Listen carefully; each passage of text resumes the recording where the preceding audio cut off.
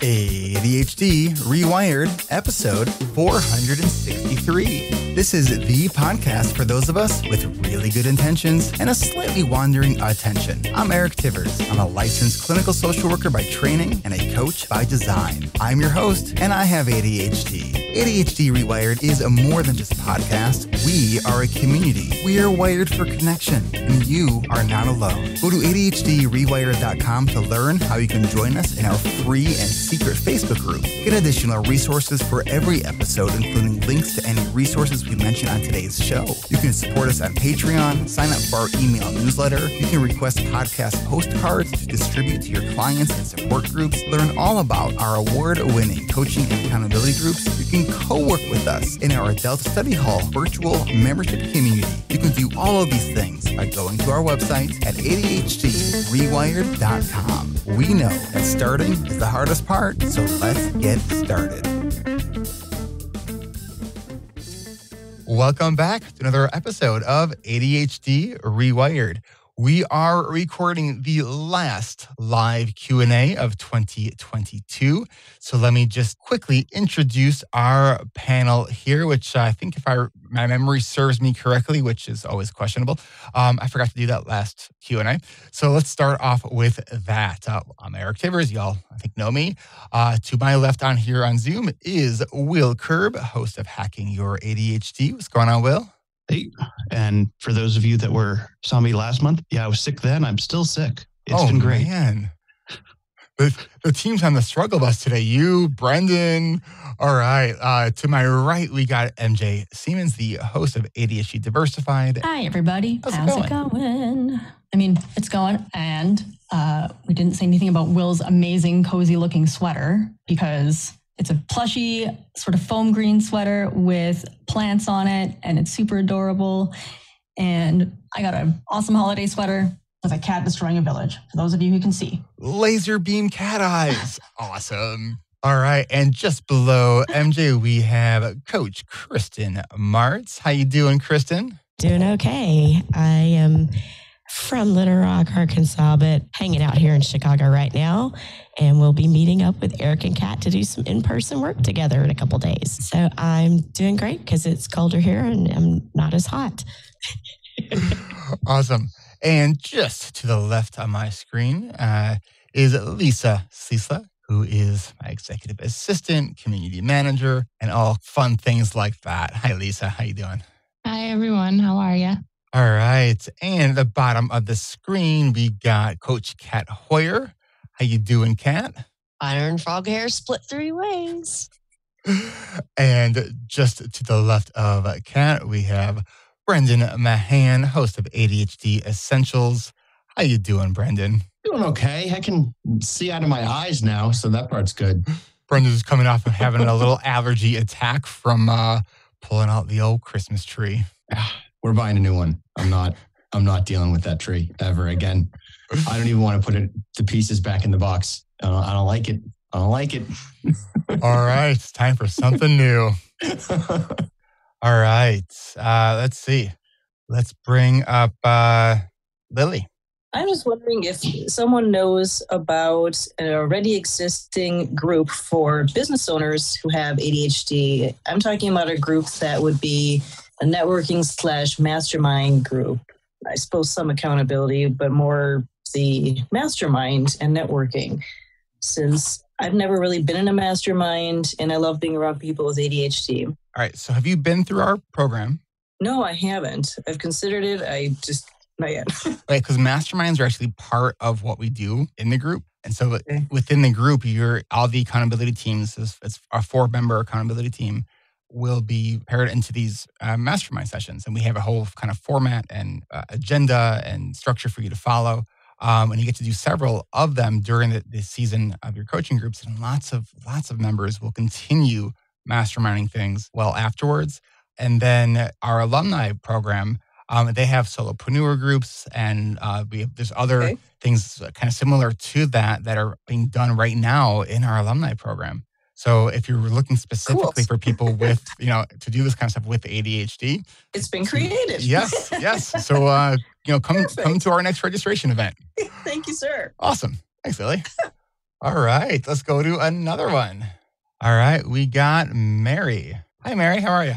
I'm pretty good, really. I'm in my second week of retirement. I retired. I was a full time nanny and my back started to hurt. I said, Oh, that's a good sign that I can retire. But I'm really, really f- afraid that I will end up, as my mother did, in a recliner binging on computer solitaire games, or for her, it was the Game Show Network. And I really feel like I need help finding, setting, and following through with my intentions while I'm in this new phase of my life. Okay. So, what if instead of calling it retirement, we call that your encore phase? Okay. Because to me, an encore is a performance. What do you want to do? I'm not sure. Oof, I'm not sure what my energy level is is even anymore. Um, because I don't do enough physical exercise, and that's something I really need to fit into my life. But I have been a life coach before. I was a life coach for parents. That was probably 15 years ago, and I really enjoyed it, but had a terrible time marketing it. Everybody said, "Oh, can't you just tell me what to do?" And I'm like, "Well, that's really not how coaching works." Thank But, you. um, you know let's let's let's see what's working in your life you know but um and i loved that and know how great coaching is which is one reason i'm really looking at your coaching and accountability groups. And i have also looked for support for retired women with adhd and i found a few little things but it doesn't seem like that's there. I'm thinking that maybe i could be a life coach for retired women or women who have a lot of gray hair or whatever it's called. so there, that's one thing. I also like to do all kinds of creative things. All right. So, um, you let me back up a little bit. You said that you wanted to be more physically active. Yeah. What would that look like for you? Um, to maybe move more than 1500 steps a day, you know, or something like that. I, I have a knee that bothers me and a back that bothers me, and I'm very klutzy. So I've always injured myself doing any kind of physical activity. It doesn't doesn't matter what it is. I just get injured. So I'm afraid of it. Okay. I'm trying to sign up for a gym that seems to cater to older people, and Great. that process is making me overwhelmed as well. Okay. Talk to us about that. What's overwhelming about that, that process?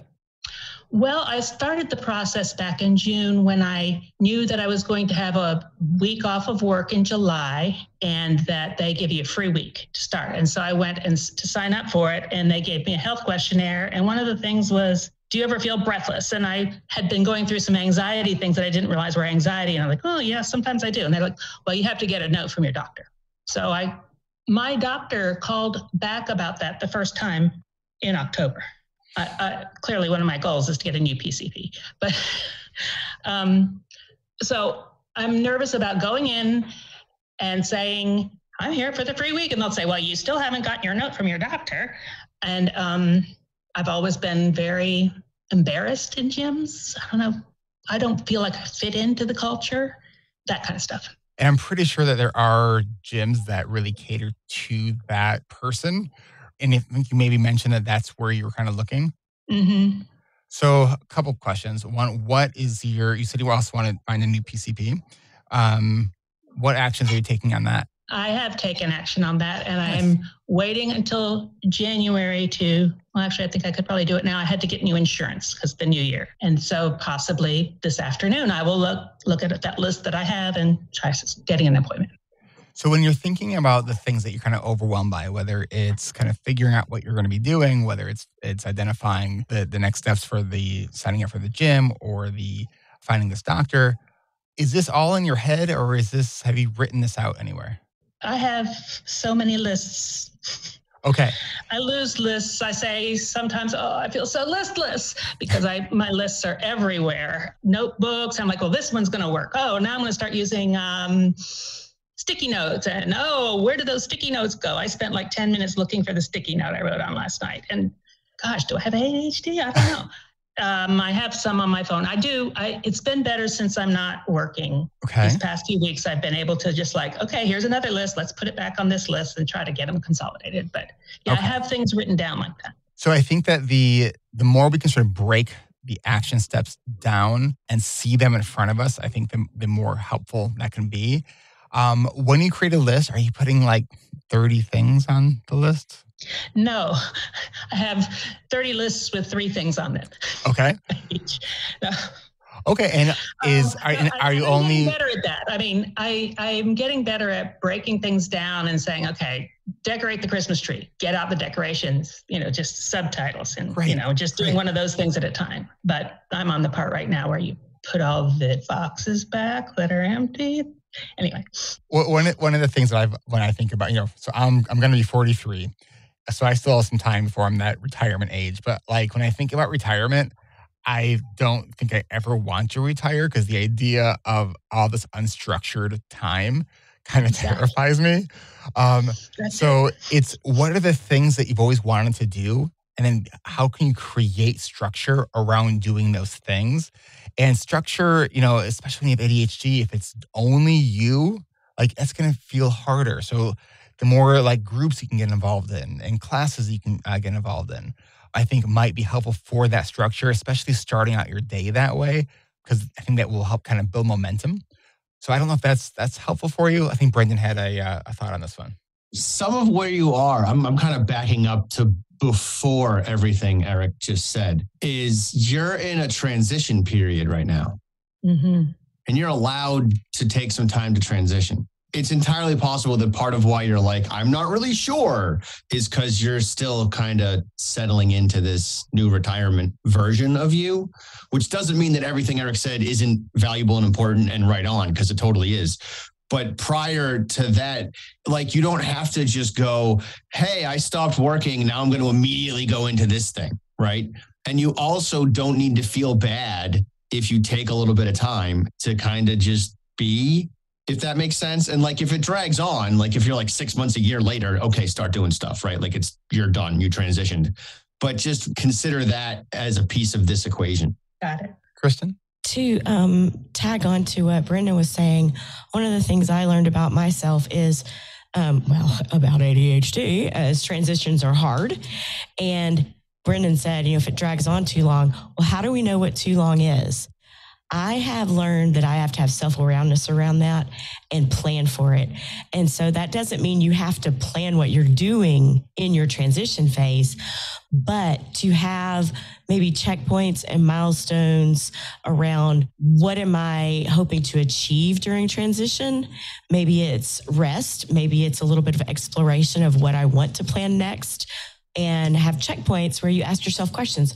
What have I learned the last four weeks? Do I feel ready to transition and start something? Is there some loops I need to close? um, first to start the new thing. Not overplaying yourself because I love what Brendan is saying is you just want to be and that's important. However, with our brains, we might just be and five years have gone by and we didn't even realize it. So you've got to plan for the awareness of time, the passage of time around that. Can I add that I am a helper and I sometimes jump into helping situations without even thinking about it. Like I was getting a massage the other day and the woman was talking about how she was legally blind. And I said, Oh, I can drive you around. And I'm what am I saying? um, so I'm worried that I'm going to also just, uh, you know, I've, I've worked with the homeless group for a long time, a homeless assistance group for a long time. And I'm worried that I'm going to get sucked into more roles that I don't want. Just, uh, Yeah. As a fellow helper, like compulsive helper, you're allowed to just not help, right? like you retired. You can be like, for three months, I'm not helping anybody and find out who you are when you're not helping because much like the cult of productivity, the compulsive nature nature of being a helper that comes with that, you're s- like you're staring at the precipice of I'm not being productive anymore because I retired, which isn't true, but that's what it feels like. Like that's the that's the cultural message that we're sending. And that means I should overhelp everywhere and overextend myself and like help the random person who I just met who is giving me a massage because they're blind and I have a car. Like that math doesn't make sense. And it, some of that is because you're trying to find your identity and your place because you retired and you're like, now who am I? And a really good way to find out who you are is to just stop and recognize that you're a person of worth, regardless of whether you're productive or helping or not.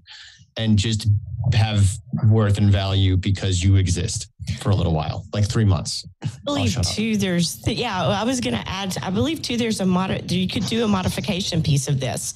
If we're talking retirement age, a lot of times we know ourselves really well and we know there's that piece of us that yeah we're going to help so what if it was a planned situation for example a parallel um, action i take everyone that calls and asks me for donations i already have a place that i dedicate my donation of time or money interest and I tell them, good luck with your cause. I already have a dedicated spot I give to that. So if you were able to say, I'm going to go help at the shelter for three hours a week, then you can have that feeling of boundaries work anyway and share with them that you, you know, wish them well with their needs, their cause, their whatever. And I already provide time for that in another arena. And I was going to, you know, like Brendan said, find out who you are without helping. That would give you some of that. And I would strongly invite you to journal around that. Maybe not even written journaling if that's not your thing, but just contemplation, you know, reflection on what was that experience like telling them no or telling them no and. Mm. I think that's uh, really some really helpful uh, uh, tips. And I love that, Kristen, about saying, good luck on what you're doing. I already have a, a, a cause that I'm focusing on. I think that's a really great way to uh, sort of deal with that that momentarily uncomfortable feeling when someone's asking you for something and you don't want to feel like a jerk by saying no. But like we have to say no to things like that so we could say yes to the things that really, really matter. All right, let's take a quick break, and when we uh, come back, we have uh, we got a bunch more questions. So uh, we will be right back. Support for ADHD Rewired comes from ADHD Rewired's award winning online coaching and accountability groups. Registration for our winter coaching season is now closed. We filled all five sections and we started this week. So thank you to everyone who registered to join us this season and welcome to the community. Our next season of coaching groups starts at the very end of March. Details to come. Learn more and get invited to our registration for our spring seasons by adding your name to our spring interest list at coachingrewired.com. Here at ADHD Rewired, we empower our members by creating a safe and supportive environment that's shame free and judgment free. While we provide tools for learning how to better manage our calendars, build ADHD friendly routines, and create actionable to do lists to achieve our goals, we also believe that ADHD management is about much more than just the tools. It's about being aware of where our time is really going and how our environment affects us. It's about learning how to put ourselves on our calendars, engaging in healthy communication, and setting boundaries so we can reduce our feelings of overwhelm and finally make time for the things that matter most to us. And it's about having a supportive community behind us to cheer us on and point out the strengths we have, including the strengths we might forget about when we struggle. If you haven't had much support around your ADHD, then imagine being able to learn and grow in a space where ADHD is understood, where you can encourage others and be encouraged and finally start living the life you truly want to live. What would that be worth to you? If this sounds like the group you've been looking for, go to coachingrewired.com to get your name added to our spring season interest list so you can stay up to date for when our spring registration kickoff events will be. That website again is coachingrewired.com to learn more and to get your name added to our spring season interest list. That's coachingrewired.com.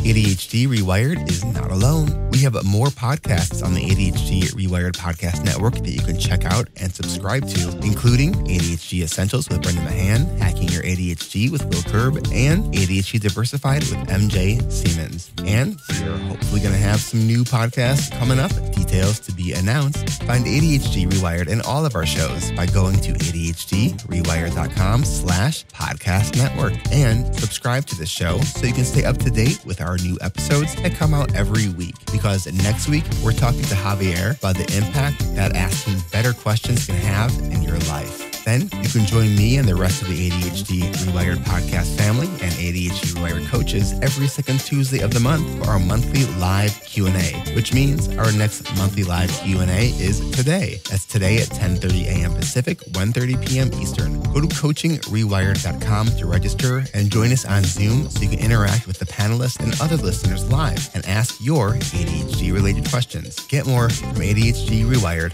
find this podcast and all of our shows by going to ADHDrewired.com. That's ADHDrewired.com.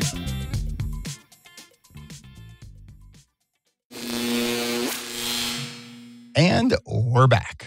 All right, we have Emily here, and uh, Emily has a question regarding uh, outcome goals versus process goals. So, what what is the question? Yeah, so I've been working on starting my own business for a little while now, and I have gotten like a couple clients and a little bit of money. You know, like my dad jokes, I framed my first dollar or whatever. But um, I'm basically still stuck, mostly not making money, and so trying to set goals for my business. And I'm learning, you know, I'm re- relearning over and over about smart goals and how to like process goals is where a lot of the peer support is telling me are better because you can like control the outcome a little more. You get Mhm. to, you know, it's about what you do. But I feel like all the process goals are not really the real goal. Like, I want the outcome of money or the outcome of clients or the outcome of even something like potential clients, client leads or something. It's just hard for me to let go of working towards outcome. And I'm not sure if I have to or should or Yeah, I Like, would what- say it doesn't have to be an or. Like absolutely have have an and. You know, I think that the process goal is the way that we we get to the outcome goal. And I think that both I think are actually really, really important. that makes sense. Will? Yeah, I recently was writing about this, and it's really important to also think about process goals as the means of how you get to the outcome. I was recently just seeing so many articles with the new year coming up being like, don't have goals, do this instead. And I'm like, but that's also a goal. It's just a goal by a different name. and I think outcome goals are important, but they're also something that you have a lot less control over Yeah. and so that's what can be the problem with outcome goals is you're like, well, I did everything I was supposed to and I still didn't reach it. Uh, where with the process goals, you can, I'm doing the things, I'm getting there. And they're kind of more of a short term what you should be doing. Whereas I think the outcome goals are a great way to be like, this is the direction I want to go. It can then inform how I'm setting my process goals and stuff. So I think, yeah, Eric was absolutely right. It's a lot of and, but it, I think it's because culturally we have such a bias towards outcome goals that it can feel a little bit like I have to have them, but really just thinking of them more as targets. This is the direction I'm going. And then using the process goals to really inform how you're doing your day to day is going to be a lot more effective than just relying on outcome goals. Thanks. I appreciate that. And I think that goals give us aim. Like goals, when, when you're setting personal goals, you don't have to hit them like exactly as is, right? Like think about it as you're creating a guide for yourself. You're giving yourself direction because we probably are all really familiar with being just super busy with activity, right? But like, is that the activity that is uh, helping us get closer towards the thing that we're trying to actually do? Or is it just busyness? right? And so I think if we have the outcome in mind, but focus on the process, like we'll get there. Even if sometimes the you didn't hit it directly on the target, sometimes you don't realize the thing you wanted was sort of next to that target until you're like really close to that target. Like, oh yeah, I wanted to actually do that instead, and that's okay. MJ, I like the idea of outcome goals, but I also don't like them because for me, I get into a little bit of black and white thinking of if I don't reach this outcome goal, I messed up or I failed. So I kind of bouncing off of what both you and Will said is having that goal as a target. Even if you hit around the target, you're going in the right direction. But I'm wondering if you have alternatives to those outcome goals. Like if you have a, if there's a backup for a backup plan, if A one goal isn't hit, yeah, like a backup outcome. Like what's if you have a backup outcome idea or a target, what would be the story that you tell yourself if any of those outcomes that you want don't get met? Then what would be next? That's where I get stuck is the black and white thinking. What's the story I tell myself if I don't hit that goal? What's the next thing to go either towards that goal or take a different goal? Yeah, I think for me, it's like it's also the the binary thinking of it's either this outcome or that outcome, even if it is a backup. Like there's actually like tons of choices, like sometimes. So yeah. I'm with you. Yeah, I think, But I think it comes down to that story of what we do tell ourselves. It's like, are we looking for a feeling when we say if we do hit that outcome goal? And what what if we do hit that outcome goal that we want, but the feeling doesn't come? yeah, yeah. I appreciate all this. Uh, lots of good food for thought. I think you're on the right track. Absolutely. You're you're kicking ass, Emily. Thank you. All right, let's go to our next question. All right, we got Kimberly. Kimberly, what's your question?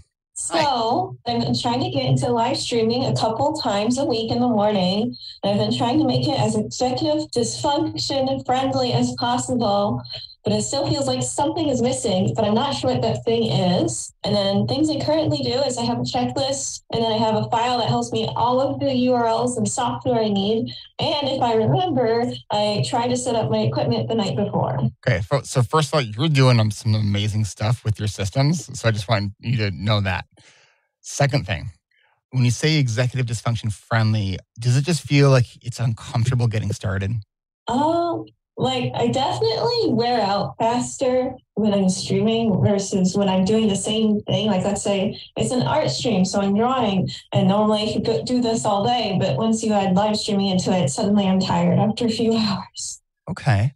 Um, you know, it's it's so interestingly that so what are we on episode 460 something like that? And I still to this day when I'm like starting an interview, I still feel like I like I'm trying to figure out what I'm supposed to be doing. Um, and, Mhm. and I have, you know, pretty fine-tuned uh, processes. So I think it's just important to, to recognize is there is it a process issue or is it just kind of like a an, getting on to the starting piece issue? But it sounds like you are you got a lot of really good processes. What's your why for live streaming? Uh, it's kind of a tangent from working on a project I'm super passionate about, partially because I get to talk about things that are super exciting in the project. And I'm like, well, I mean, I'm already drawing this for hours and hours. and I might as well make some hashtag content out of it by live streaming. What's the part that's exhausting to you? Sometimes it's managing chat when someone does come in and or being slightly demotivated when nobody says anything. Like no one actually comes. And I, I'm sure part of it is a product of me choosing to live stream in the morning when everyone's got work and school. And it's the most convenient time for me. Have you joined any like online groups for live streamers? I'm in a few groups. And have you asked them how they kind of manage their sort of their energy while they're doing I it? I think I talked about it at one point briefly because there was one time where I was super tired and I mentioned it and they're like, yeah, you know, if you're tired, just stop. Yeah. MJ? Well, first of all, transitions are hard, and- but it sounds like you have a lot of physical prep done to transition into the live streaming. So, my mm-hmm. question then would be what are you doing to mentally and emotionally prepare beforehand for live streaming? And what are you doing afterwards to decompress from streaming? Because I know for me, I have to take some time to mentally and emotionally prep for being here. And I know that Mhm. after this, I probably need to lie on the floor for about half an hour just because there's something about being live that is executive function draining. So, taking those two things into account the emotional and mental prep before and after, do you have any routines in place for that? It's kind of squeezed between what I normally do in the morning, which is like breakfast, short exercise, and whatnot. And then it's squeezed between that and then when I have to get ready for a job, which I happened to get a part time job right as I was starting streaming, which I know also hasn't helped get used to streaming because I, oh, now it's like, oh, I have to stop after a couple hours so I can actually go to work at this day job I now have. Do you ever find the streaming sort of energy adding? Like, does it energize you in any any part of it energize you, or is it regularly just draining? like the thing that seems to help me is also frustrating uh, is that I put on the right music, but the problem is uh, music I like is copyrighted, and so Twitch has issues with that being audible. Can you put like an earbud in like one of your ears? It's just you I listening could to it. probably do that. Because that's I, that, music is like music is kind of like medicine. Like the right music can totally alter your mood. Kristen, you got something? Really quickly, because of what you just said, Eric, planning those transitional bookends. Also, if music is something that obviously speaks to you, find music pieces for your transition in and transition out to help recharge. If that, if it's not music, maybe there's something else that's a sensory thing. Mm-hmm. Yeah, that's that's cool, and it really does sound like you are definitely understanding the system stuff and getting all that flow set up. So uh, it gets easier the more you do it. But um, you know, I would just encourage you to make sure you're enjoying it, and maybe doing video that's not live stream. Maybe you're might be more of your cup of tea, or even communicating something how you're not going to be interacting in the chat while you're doing your art, um, and that you'll respond to questions at the end of what you're what you're making. So I think there's a lot of different options to really look at what's kind of what's your why, and then what's the thing that's draining you, and what are you finding to be sort of most uh, uh, fulfilling uh, for you. So I hope that's helpful, Kimberly. Thank you. You bet. All right, let's go to another one. We've got a question that was upvoted by Sheena. Do you have any advice for when we find ourselves frozen in total overwhelm? I tend to have this happen between periods of go, go, go, driven by the urgent deadlines of the teaching semester for university. After those intense periods, I tend to crash and freeze due to the overwhelm of realizing that everything else exists all at once. I'd like to figure out how to be more intentional year round. I struggle because it's hyper focus or nothing, and I rarely feel in control of the switch. This is a great question. I think part of this comes down to tracking because I think one of the things that sounds like might be happening is you are waiting until you're exhausted until you slow down. And you know, if you're if you're kind of in go go go mode and like you're not registering that, oh, I'm kind of getting tired here. Oh, I should maybe start thinking I'm taking a break until it's like, oh my gosh, I hit a wall and now my brain feels like mush and I can't think and I don't want to be around anybody. And you know, so it's like hitting that hitting that wall. So trying to track how, how when does that happen, and are you able to, in some kind of way, sort of backtrack and then create a cue that's external, so you're not counting on that internal cue to being tired. Right? Like you know, for me, like I learned when I do long, long meetings, I get to this point, and, and Kat, Kat's always the, probably the first one that can see like, like, oh, Eric's checking out because I just kind of get this look on my face, um, and it's like, oh, okay, yeah. Uh, so I know for me, like really, like two to three hours is really when I need to take a, a break on a given day.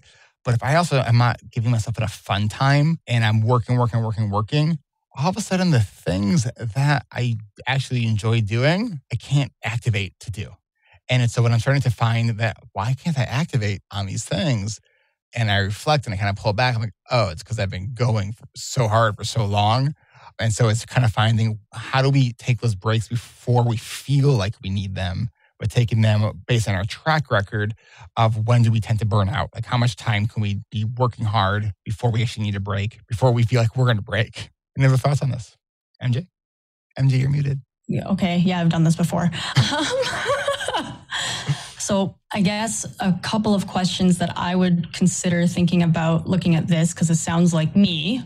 When we find ourselves in overwhelm or on the way to burnout, what is our self care looking like? And if anybody here is sort of in that burnout phase or like feeling like you're on the way to burnout, like what are you doing that recharges you versus doing things for others? I used to think that constantly being busy was just a way of life. And anytime anybody else had anything that was going on, I had to be there or I had to, we were talking earlier, like a compulsive fixer, helper kind of person. And then I realized, and this is just for me, I don't know if anybody else can relate, but being in a constant state of overwhelm was a way for me to avoid my own self care and my own meaning making which in itself made, made it feel, made my life feel overwhelming because I was forgetting about me. And what it sounds like here is where can you stick you in that equation so that you can have time for you?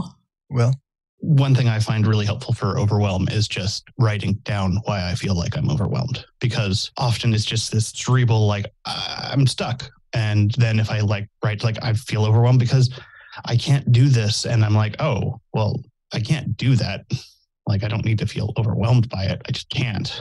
I need to find a different solution. And it's often what my issue often is is my thought brain is going too fast to settle down on thinking about solutions and I'm just focused on the problem and uh, having the problem written down. I'm like, well, I know what it is there. Now I can look at that. That's great. And along with that, you can also just talk to a friend. That's an alternate solution to there. I personally like writing things down because I tend to be a very private person. But talking with through to other people, they're like, "Oh, so you're doing this," and they're like, "Could you do this?" And I'm like, "Oh yeah, yeah, it seems reasonable." Thanks, Will. All right. Um, well, let's actually let's jump in with a, one more quick break, and then we will uh, we'll be right back to uh, try to answer some more of your questions. So we will be right back. Support for ADHD Rewired comes from Adult Study Hall at adultstudyhall.com.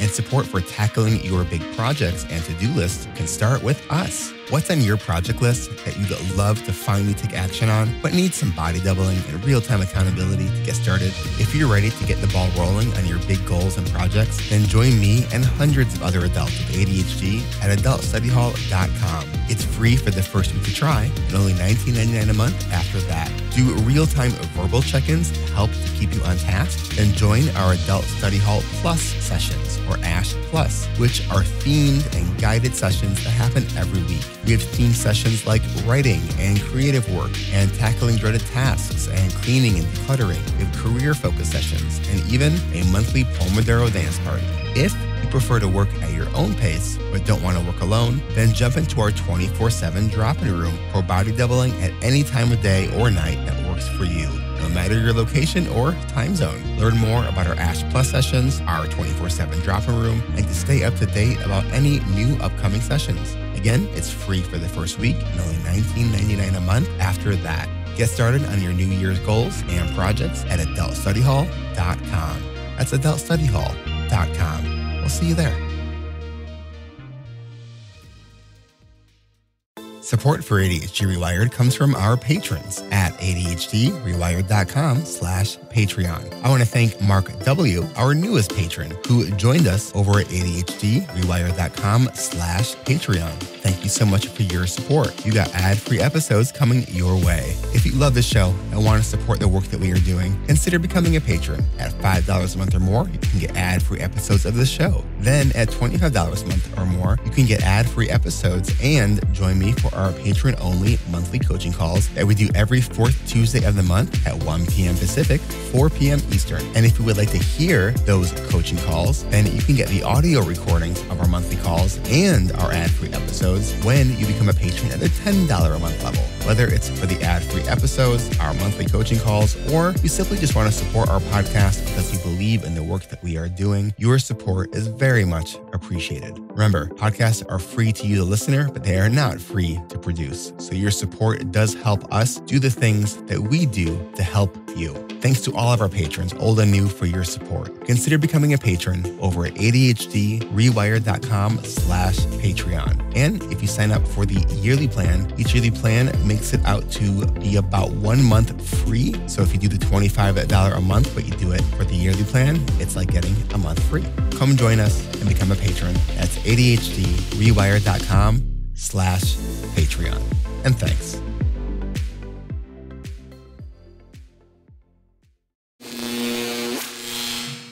And we are back. All right, uh, let's uh, let's take another question. Who wants to uh, Who wants to read one of those questions? Eric, I heard you and a podcast guest lament the challenges you both have in grocery stores. Could you explain on why this is such a thing for those with ADHD? I shop the same familiar stores and mostly buy the same things. So it's curious how I wander around back and forth for an hour when I'm only one bu- buying one bag of stuff. Ugh. My therapist hasn't yet taken up my offer to join me there to see the madness I go through in a store. ha. Yes. Okay. So part of the the neural networks of attention, it's not just about what we are focusing on. It's also about what we are not focusing on or inhibition. Our brain does not do that. Not well, anyways. So everything that's not the thing you went to the store for that becomes in your your sort of visual proximity becomes something that's entering your attention space, right? And so it is like usually, well, not always, but like when I go to the store, sometimes I will try to I'll, I'll go in with like a hoodie on and um, really just try to like go really, really fast and focused. But I also fall into that as well, where I'm like looking at all this other stuff, and, it, and it's funny because like there's a short window where I kind of enjoy doing that And then I crash through that window and I kind of hate everything and everybody. And I want to just get out of the store, right? Like, because I get overwhelmed by all the sensory input. Uh, my partner and I, we were uh, uh, doing some holiday shopping last week at uh, Home Goods, which is a, such a fun store until it becomes like just overstimulating. And I hit that point at about 40 minutes in. Um, it's because our brain's not filtering, right? And so if our brain is not naturally filtering, it makes sense why we get overwhelmed and overloaded with with sensory stimuli, which is why, like, thank goodness for all these services like Instacart and and things like that. Like, it is, oh my gosh, I just I love it. I love that. But that's that is kind of why it's just that that ability to kind of turn down how your brain is processing external stimuli. Kristen. So I think based on what you said, because I just want to just uh, notice the the fact that not everyone can utilize the services of Instacart, maybe by where they live or it's an economical thing, something like that. That based on what Eric just shared with us all, maybe going in there with a timer for ourselves and with something written in front of us or a audio that we listen to of what we're getting whatever helps you with your learning process of what am i doing? What am i here for?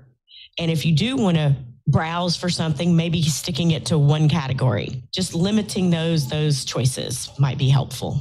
Okay so when you were saying that kristen i guess you just came up with an idea so I, I actually used this to get myself out of the office. Is I will like order Chipotle for pickup, and I'll do it. And this is Chipotle in like five minutes from here, so I'll select the have it ready as soon as possible. So I don't want to eat a cold burrito bowl. Like I want my stuff piping hot, right? So like maybe going to the grocery store and then like scheduling uh, whether it's picking up some food or even like a, a, coffee or you know something where you actually have some external accountability now to go be at a place because you just put a couple bucks down to get yourself some food or a drink or something like that. So that can actually help engineer that urgency. Um, then I would just encourage you to have some maybe a reminder alarms so don't forget that you did that. MJ?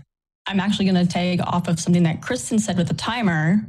So with the timer, right? But if you're playing a game that, yeah, right, you're going to beat the timer, getting out of the grocery store, making it fun, having a list and seeing how fast you can get the things on your list. I mean, going to the grocery store with a specific list is one thing, but in terms of the overwhelm, right, if you give yourself something else to focus on, maybe depending on the person, it might sort of drown out the other stuff because you're so focused on either beating the timer or maybe you have the timer, but you've also let somebody know, hey, I'm going to send you a picture of me in my car after I've left or gotten out of the grocery store with a timer and make a game out of it, either with yourself or with somebody else. That's all I got.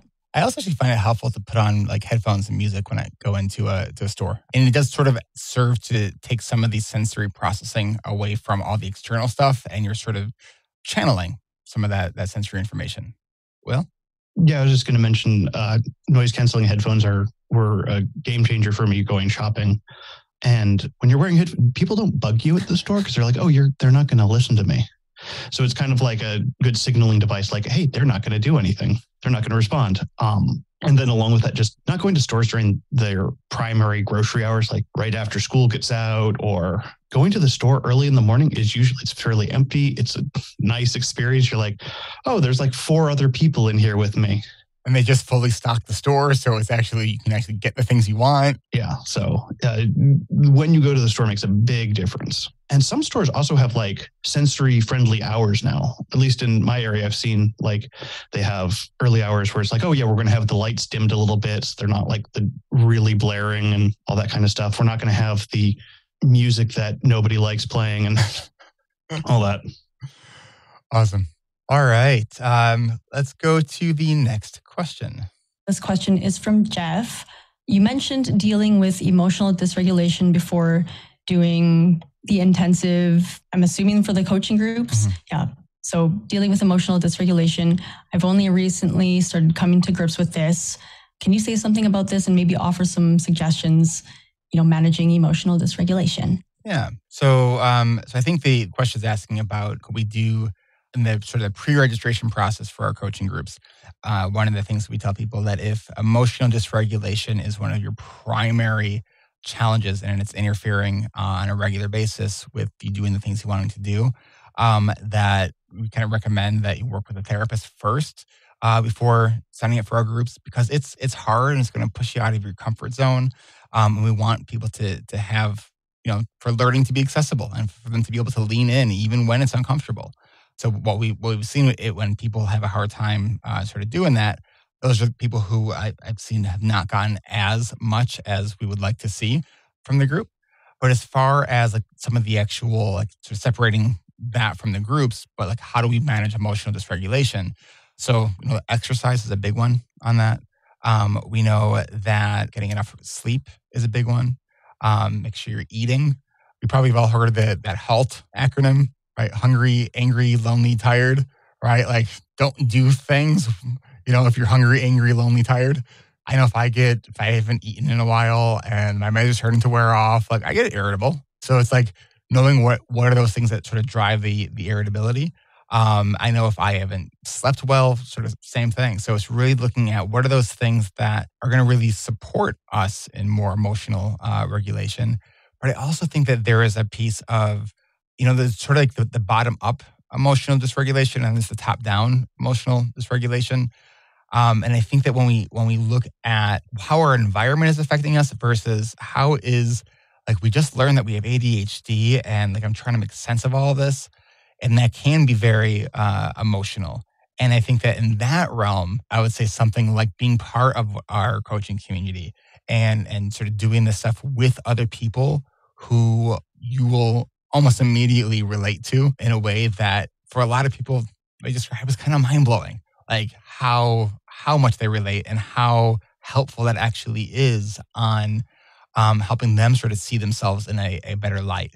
Because you know we are often the harshest critic to ourselves, right? And yet we tend to see all the good things other people are doing. And when we're in a space where like everyone kind of seems to do that, we start to realize, oh, we're actually being kind of harsh on ourselves. And we can kind of see that in a more self compassionate kind of way one of the things we like to say about our coaching groups, because it is coaching, it's not therapy, but it's really therapeutic. I think doing the stuff with other people with ADHD, I just think it's it is so profoundly helpful. Anything else anyone wants to add to that one? MJ. I'm going to jump off of what Will said earlier too about journaling. If this is something that is new and you're exploring sort of what emotional dysregulation is for you with your unique ADHD, journaling. For me, I didn't even know what emotions I was experiencing going through emotional dysregulation. Like, am I angry? Am I upset? Am I tired? Am I, I, I couldn't pinpoint it. So it was through a lot of that journaling that I was like, oh, I'm, or even just, just feelings. I'm feeling exhausted, which is making me feel not worthy of doing the next thing. I'm feeling angry because I didn't do this thing, or maybe somebody said the, a wrong thing that sort of set me off. So, journaling about the potential emotions you might be feeling and what in your environment is making those emotions come up. Because for me, like I said, I didn't know. I thought I was just a hothead most of the time. but yeah, be, having that awareness really helps to say, okay, this is what I might expect from myself. And then the power of the pause. Mm-hmm. You know, and I think another thing to also explore is is the emotional dysregulation piece. Is this more of a function of uh, the ADHD, or is this something that gets triggered that is uh, something that's rooted in trauma? Um, and I think that that is also a really, really important and nuanced thing to explore. And that that is a something you can work with a therapist. And I think it's important to work with trauma informed therapists uh, who also do have an understanding of ADHD um, I know that sometimes those can be hard to find, but it is uh, it is worthwhile to see if you can seek therapists that have that knowledge and uh, experience. All right. Well, I think we are coming here to the end. I want to thank everyone, uh, our, our panelists, coaches, podcasters, and you, the listener, and the people who are coming here asking questions uh, each and every month. it is, uh, you know, wrapping out this 2022. I feel like this uh, like 2020 2021 and this year has kind of just been this this uh, long extended weird i don't even know what to call it Um, Kristen, I didn't hear, I didn't read the lips. Transition because I am a skipped record right now on that. it is. It felt it's felt like a big transition from a pandemic and a lockdown and coming back into Yeah. society and how we have to live um, for safety. Yeah, yeah, and it, it does. It feels like we're going in this this like. Are we out of the pandemic? It feels like sort of yes, but not completely. Um, so I just wish that everyone is uh, safe and healthy. Um, you know, 2023, and uh, and we have a little bit less dumpster fire uh, across the world um, in, in 2023. So um, we got to leave though with a moment of that. Will.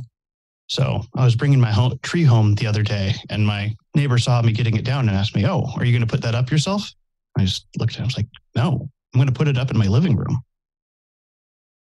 Oh my god! oh my god! It's a dirty dad joke. Yeah, so that, that one went more more uncle joke. Approved.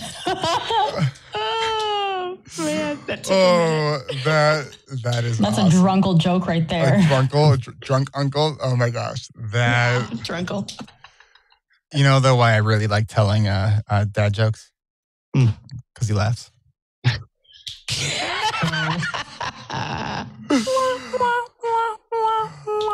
All right, everyone, we do this the same uh, time every month, so we will hopefully see you back here next month. Thanks, everybody. Have a great New Year. This is Eric Tivers. Thank you for listening and congratulations for making it to the end. ADHD Rewired is more than just a podcast. We are a community focused on learning, growing, and connection. The website is ADHDrewired.com. You can find time-stamped summaries and additional resources for each episode. Apply to join our free and secret Facebook community. Learn more about our award winning intensive online video based coaching and accountability groups. Join the Adult Study Hall virtual co working membership community. Find all the other podcasts on the ADHD Rewired Podcast Network. Sign up for my email newsletter to get exclusive content that you won't hear anywhere else. And use the search tool to find episodes on specific topics. You can do all of this at ADHDrewired.com. While you're there, click on the Patreon button. If you are a regular listener, consider making a, monthly contribution by becoming a patron. If you are able to financially support my work, it would mean a lot. This show is free to you, the listener, but it's not free to produce. Plus, patrons get cool perks like ad free episodes and access to recordings of coaching calls. And $25 a month patrons can join me once a month for a group coaching call. You can follow me on Twitter at Eric Tivers. You can like our Facebook page at facebook.com slash ADHD Rewired. If you're a coach, therapist, or related professional, connect with me on LinkedIn at linkedin.com slash Eric Tivers. Subscribe to ADHD Rewired on YouTube to see selective interviews and other videos I've made. Podcasts change lives. You can make a difference in someone's life by spreading the word about this podcast. Mention it in your online communities on Facebook, Twitter, Reddit, or wherever you hang out online. And be sure to share it with your friends, family, your therapists, your coaches, doctors, siblings, parents. And if you, your coach, therapist, doctor, or ADHD support group leader would like a pack of podcast postcards to hand out, you can request those at the website, ADHDrewired.com. If you are a member of CHADD, ADDA, or any other ADHD support group, please be sure to tell them about this show and all the shows on the ADHD Rewired Podcast Network. You can even show them how to download it on their phone. And if you really loved this particular episode, please hit share on your podcast player. I'm only one person, and I do count on you to help spread this message. One of the biggest things that you can do to support this podcast and help other people discover it is to leave an honest rating and review on Apple Podcasts or any other app that supports reviews. And don't forget to hit subscribe so new episodes are automatically pushed to your favorite podcast app. Looking for more ways to listen and learn? Get a free audiobook and a 30-day free trial at Audible by going to audibletrial.com slash ADHD Rewired. Here is my list of must-listen-to audiobooks updated July 2021. Nonviolent Communication by Marshall Rosenberg. Attached by Amir Levine and Rachel Heller. Atomic Habits by James Clear, The Five Dysfunctions of a Team by Patrick Lencioni, Crucial Conversations by Kerry Patterson, The Coaching Habit by Michael Stanier, The Body Keeps Score by Bessel van der Kolk, Rest by Alex Soojung Kim Pang, The Five Second Rule by Mel Robbins, Make It Stick the Science of Successful Learning by Peter Brown, The Productivity Project by Chris Bailey, Meditation for Fidgety Skeptics by Dan Harris, Change Your Questions, Change Your Life by Marilee G. Adams. I always recommend to my coaches and admin that they read that book. The One Thing by Gary Keller, a required reading for all of our coaching group members. Procrastinate on Purpose by Rory Vaden, The Four Tendencies by Gretchen Rubin, The Art of Asking by Amanda Palmer, and if you're looking for something a little bit more magical, I have fallen in love with the Harry Potter series, and the narrator, Jim Dale, is amazing. And of course, if you haven't yet boarded the Brene Brown bus, all of her stuff is great, starting with Gifts of Imperfection, Daring Greatly, Rising Strong, and the Power of Vulnerability. And if you're an entrepreneur or leader, be sure to check out her book, Dare to Lead. Do you have something that you would like to share? Click on the podcast tab at ADHD Rewired click the button to be a guest at the top of the page and schedule a 15 minute interview. This is Eric Tivers, reminding you to keep learning, growing, and connecting. Self care is not selfish. No matter what you get done or don't get done, you are still enough. And no matter how hard it feels, we can do hard things. And we don't need to do them in the hardest way possible. Thanks for listening. I'll catch you next week.